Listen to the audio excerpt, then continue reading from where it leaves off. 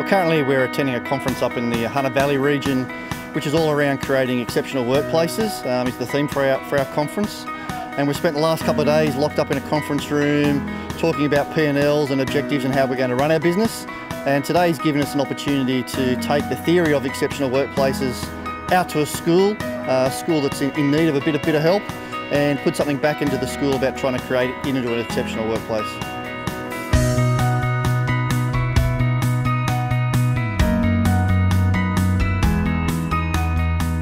About making the kids feel safe and happy and this is this is great today. It's just so exciting for me.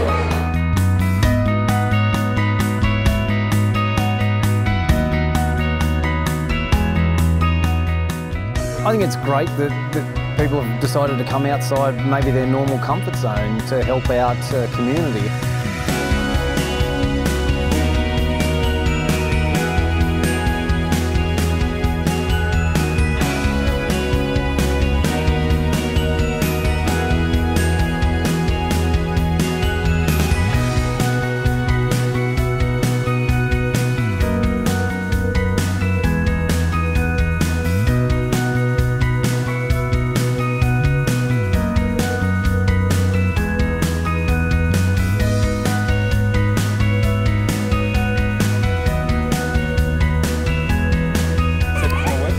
For starters, making me happy, it's making us happy.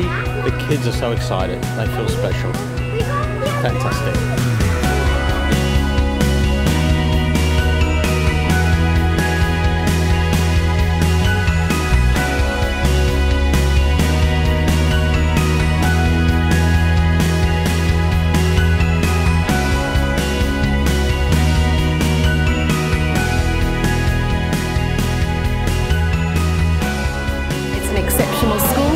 Actually make sure we have an exceptional environment for these beautiful kids to actually work and learn in. people are essential to exceptional workplaces and so hopefully you know, the people in this school community will be really benefiting from all the effort that's gone into helping to create a really exceptional workplace and an exceptional play place for these kids at, um, at Cessnock Primary School. And we all know Man- Nelson Mandela said it takes a village to raise a child and it's lovely to have Kimberly-Clark as part of our village.